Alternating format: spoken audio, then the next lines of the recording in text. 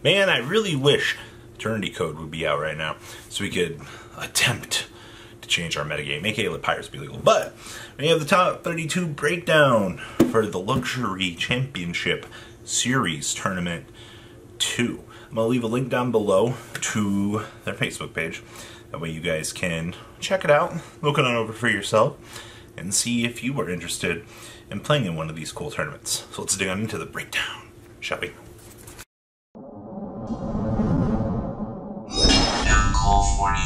All right, haha. Link down below and like this video. All right, so luxury gaming top 32. We have 18 Adamancipator. That's uh, that's a lot. All right, so we need to we need to talk about this for a second here, okay? So we've literally went so far down the rabbit hole at this point that Synchro Rocks has become the best deck.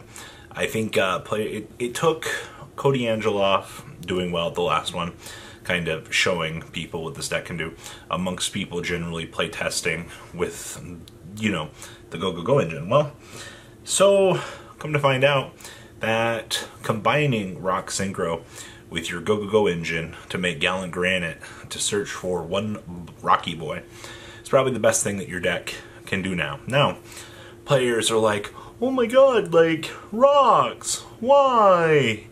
And you've also got people over here, we've already actually got people wanting Block Dragon Band. That's a, that's a no for me, dog.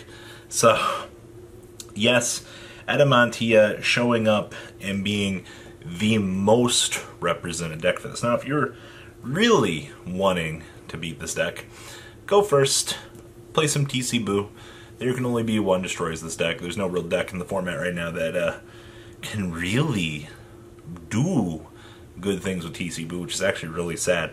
But that's just my two cents. Also, maybe a Nibiru. I know there were a few people that were trying to cheese DD Crows, but like, eh, it's not even good. Like, also sign not being once per turn. Fantastic. Thank you for this. I'm glad that we didn't have to actually sit through this format IRL.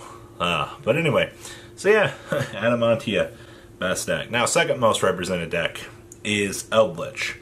Now, Eldlich Invoked ended up winning this event. And also in our Eldlich category, we have so five Eldlich Invoked, one Eldlich Invoked Lightsworn, one Eldlich Lightsworn, and one pure Eldlich. Alright, so that's eight Eldlich. 28 of your decks in top cut, by the way. Um, yeah. Uh, I, I don't, I don't know. But, uh, sorry, we had to take a break there for a second. I had to, I had to go, man, that's a lot of Eldlich. So basically, your 26 out of your top cut here are some sort of Eldlich variant and Adamantia. Man, Secret Slayers was a good set at this point. Okay, so Eldlich Invoked ended up winning. Uh, I heard talk about this deck um, actually last week.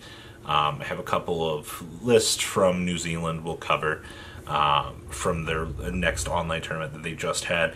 And to top things off, I saw Blair was testing out the Raiden engine and Lightsworn on DB last week. So I was I was curious about that, but Invoked Eldlich gives you this really cute combination of things. Um, by a really cute combination of things, I mean, hmm, using invocation to be able to set monsters, not having to rely on Pot of Extrav to basically do things. You, you get to use the spellbook engine to capitalize on your advantage. That's super easy and free to do in this deck. And you know, you can actually keep your extra deck for resources.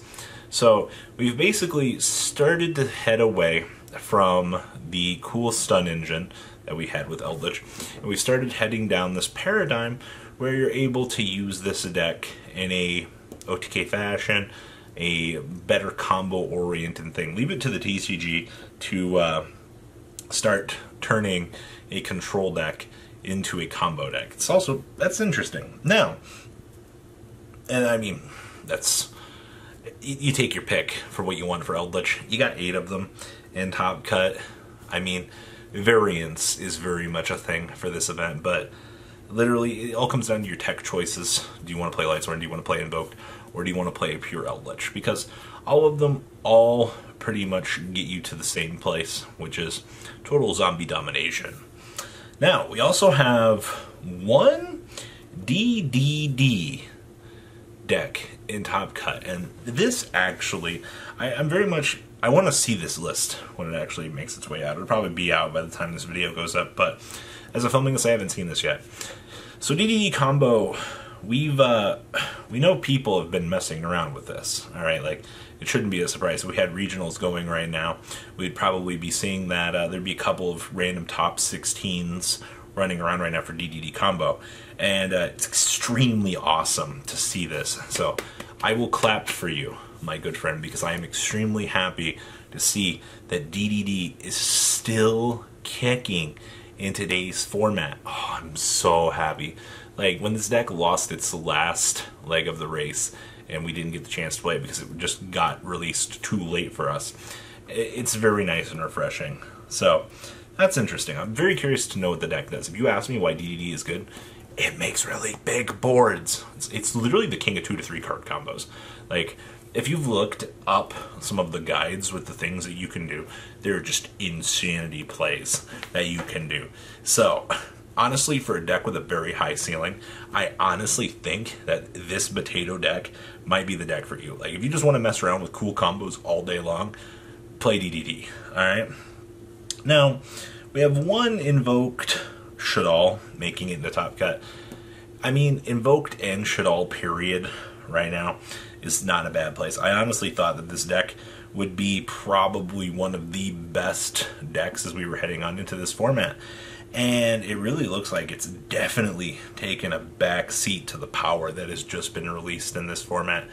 I don't even know what to say about this. Like, the the biggest three from last format just got annihilated out of the place. Now we've also got Rokket, which would be Dragon Link for us. Now, no surprise here. Uh, I do think that Invoke, or excuse me, I do think that Rokket Link is still very much going to continue to be a very good deck. The deck's just got consistency. Now, once Red MD gets hit on its errata, we'll probably see the end of this deck, which will be a really sad thing, but when it happens, it happens. We also had one Salamangreat. Now, this is interesting. So I just uploaded that video yesterday. People in the comments were like, oh, he bricked. Like, there's nothing, he, he messed up the combo. You hard lose to Nibiru. Like, if you've been playing this format or you haven't played against Eldlich yet, yes, of course, you're going to say that uh, Salamangreat's still a good deck. If you watch Salad get decimated through some of these boards right now, Salad does not have a good Eldlich matchup.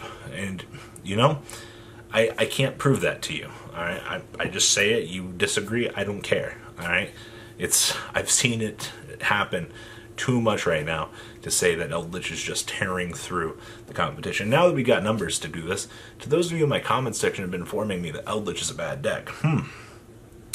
Numbers and things look like we might not be wrong here. Now, this was 240 players. This is probably the biggest event that we've got next to CMOs running right now. But I will say, for the most part here, that uh, consistency is looking pretty good here. So, uh, yeah, Salad definitely in an interesting place this format. It's almost like maybe the deck can do something in the future. Uh, maybe once rocks get checked. We also had one Subterror deck. Uh, I'm not exactly sure about this one. Uh, very interesting. Stun. Hey, made it into Top Cut over Altergeist. I think that's pretty impressive. Geist have been projected to be one of the best decks this format by a few players. Same thing with Pendulum. No Pendulum or that in here. And running it on home, Zodiac. Oh, I'm so happy. One Zoodiac creeped on through the cracks here and made it into top cut. Thank you. Somebody out there is playing this bad boy, somebody loves this deck, and somebody had enough love and dedication to bring Drident Mommy home. Also, you know, being able to make the big Link 3 that's 4K, um, guard's pretty good. So, a lot of decks have a problem dealing with a fat 4K wall that literally just waves at you and goes, Hi, what can you do? You can't out this. Plus, you know, with Zoo plays for the follow up on the next turn, plus macro, it's almost like it's a good deck or something. It's a, it's a thing. So, Invoked, Eldlich won this tournament, piloted by Cameron Neal, um, tearing through all 18 of the Adamantia, which is very interesting. I will say that. So, that's your general tournament results for this. Yeah, very interesting. I'm very curious to see where we're going to continue to go in this format as we head on into Echo here. The Plunder Patrol are coming. I actually, uh, I'm very excited to see where that deck goes. I actually got trashed by that deck yesterday on stream, and I mean, I got trashed. Like, I was actually yikers. But, uh, what do you guys think? Please leave a comment down below, tell me what you guys think, and well, guys, I'm out. The ride never truly ends. Thank you, patrons, for helping support the channel. Without you guys, I don't know if I'd still be doing this. And for those of you that like Cardfight Vanguard, FanCool40 is here for all your content needs. And those of you asking if I sell cards, mkohlgames.com for all your trading card game needs. Check the description for more interesting info. Thanks for watching, guys.